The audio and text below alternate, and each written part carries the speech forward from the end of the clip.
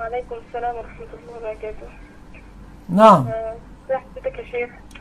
الحمد لله. آه، شيخ مصطفى أنا عندي مشكلة مصيبة يعتبر. الله يستر علينا وعليك. يا رب. إذا كان فيها خدش للحياة كلمينا على الخاص. لا لا. آه. لا مش خدش الحق ولا حاجة. طيب. هي مشكلة مخفية أنا. بس لو سمحت ممكن تسيبني يعني أتكلم براحتي شوية؟ لا لا. مش ممكن براحتك لأن في ناس منتظرة تسأل. آه، أوجزي في السؤال. طيب ماشي. آه.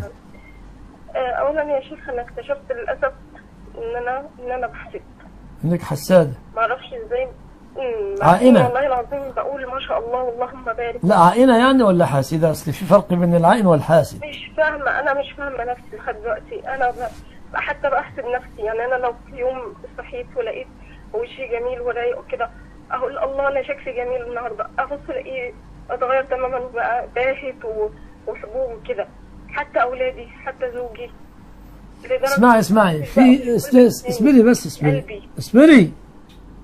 في فرق بين العين والحسد. الحسد تمني زوال النعم عن الناس. يعني واحد بيحسد شخص يتمنى من كل قلبه أن تزول النعم عنه. واحد اشترى سيارة الثاني يحسده يتمنى أن سيارته تكسر. أما العائن يكون بالعين يعني بالعين لازم يرى ف كو- اشت- اشترك كلاهما في إلحاق الضرر بالشخص. فإذا كنت عائنة يعني إذا نظرت الأشياء نظرات إعجاب وأصيب الشخص الذي أمامك من جراء هذه النظرات وهذا وارد. والله سبحانه وتعالى يقول في كتابه الكريم ويكاد الذين كفروا ليزلقونك بأبصارهم. يا كان شيء يخرج منهم ينفذونك بأبصارهم. يدخل الشيء من يخرج من العين ينفذ بالأبصار. كان هناك رجل اسمه اسمه سهل بن حنيف. كان جميلا جدا وسيما. وخلع ملابسه يغتسل فمر به رجل اسمه عامر بن ربيعة قال ما هذه الجلد؟ ما رأيت جلدا كهذه الجلد من سائر اليوم. فسقى ولا كأنها جلد فتاة بكر. فسقط سهل صريعا في الحال. قالوا يا رسول الله أدرك سهلا صريعا. قال من تتهمون؟ قالوا نتهم عامر بن ربيعة. فاستدعاه النبي. قال على ما يحسد أحدكم أخاه. إن رأى أحدكم من أخيه ما يعجبه فليدعو له بالبركة.